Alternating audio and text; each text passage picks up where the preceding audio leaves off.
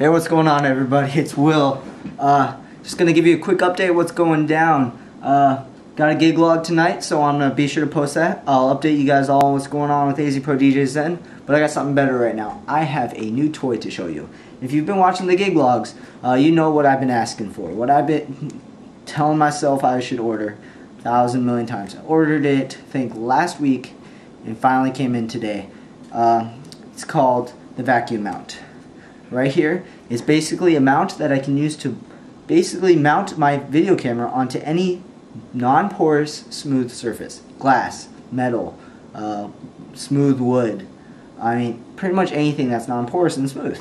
So, I mean, sky's the limit. I'm going to be using it to mount in my dash uh, on inside my car. Uh, but for right now, I'm going to show you some basic things about it, and then I'll take you inside the car and show you how to mount it inside. How about that? So here's the unit. Came in a nice box. Uh, it's called the vacuum mount. Uh, the model itself is called a cleat. It's the lowest um, model. Uh, it's only 50 bucks, which isn't bad at all if you think about uh, how awesome it is once I show you all the features. Uh, it holds up to 20 pounds, which most cameras weigh less than 10 pounds. So you should be fine unless you're using a professional grade camera.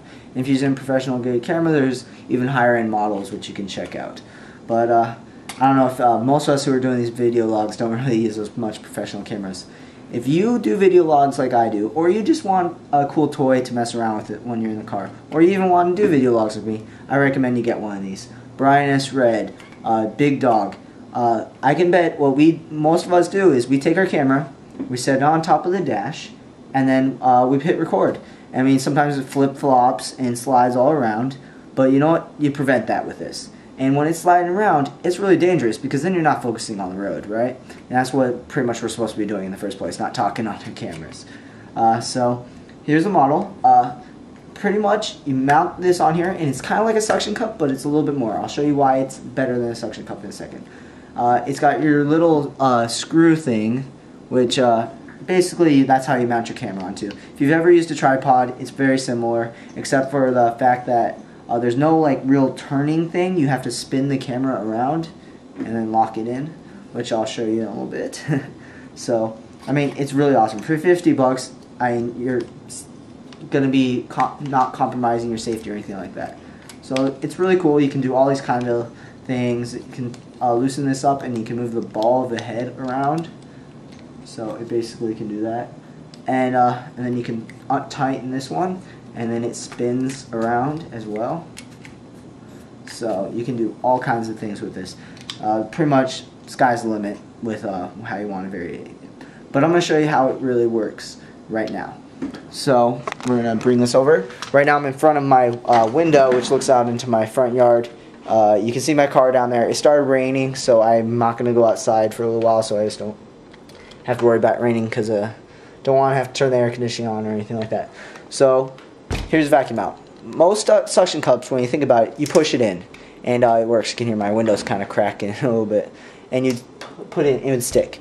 You could technically do that if you if you push hard enough, but you know what? It wouldn't hold that much. So I'm gonna move this little my camera holder right here. Hopefully it stays. All right. So what you're gonna do is you stick you stick it on here. And if you see right here, this little kind of plunger button thing sticking out, you can see a red line right here. That's your indicator. Basically, it tells you how suctioned you are, how, how much it's uh, sticking, pretty much. So, and once you got your smooth surface, what you're gonna do is you stick it on here and make sure it's you're not like you're, you're touching the actual surface, and you just pump. So it's that's why I call it vacuum. It's sucking out the air. That's making it pump. And as you can see, as I pump, slowly that red indicator is going to go, disappear. That basically means once it's gone, that it is fully stuck on there. Uh, I want to, I would like to show you how uh, well this works, but if I pulled hard enough, I could probably rip out the actual glass of the window. This thing, I tested it out on top, my car hood, and I tried moving it, and it shook my car. This thing will not come off unless you do the procedure, which I'll show you how to do a little bit.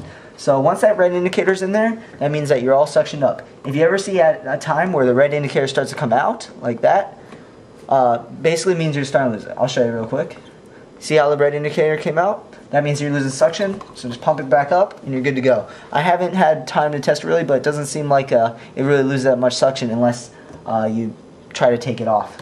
So once you got it on, you can move it around. Uh, so uh, you can go basically infinite possibilities this thing. It's really awesome.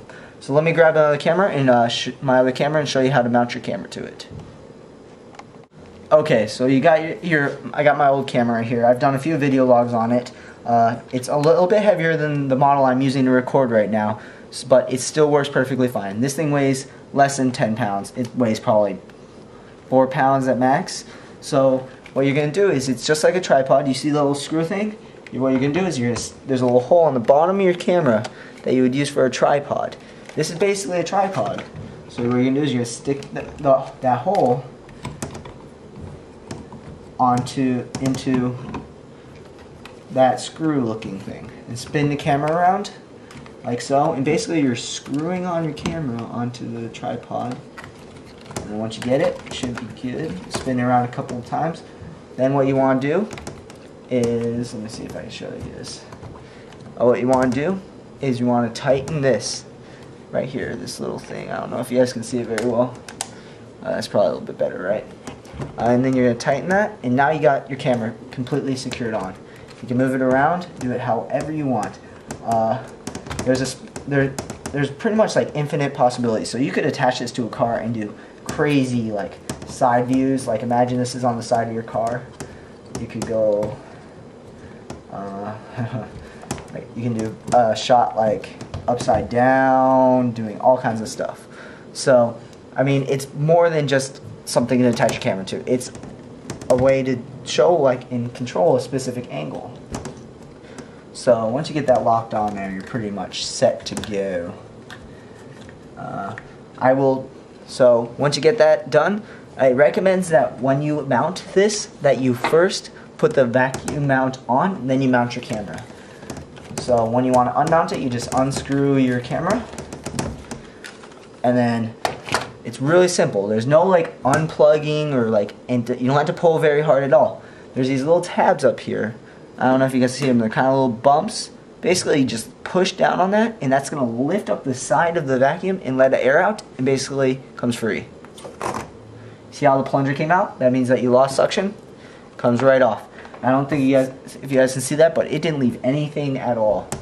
It uh, it's great because you can use on glass, on anything, and you know what? It's not it's not something sticky, as so you could basically use it on and leave no residue at all. So uh, I'm gonna take you guys out to the car right now and uh, show you guys how to mount it inside your car.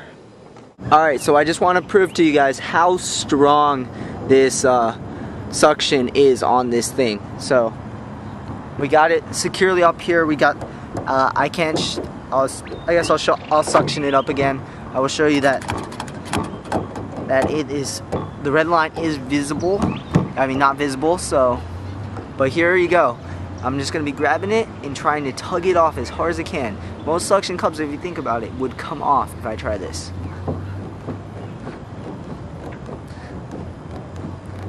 And I don't know if you see that, but I am shaking the car right now.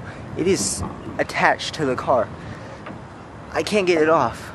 But if you just touch this tab right here, the suction comes off, comes right off. So there you go, that's proof that this thing really is worth the 50 bucks. Cleat vacuum mount. Uh, for all you guys who are doing gig logs in your cars, be sure to check it out. Practice and enjoy. Your first, azprodjs.com.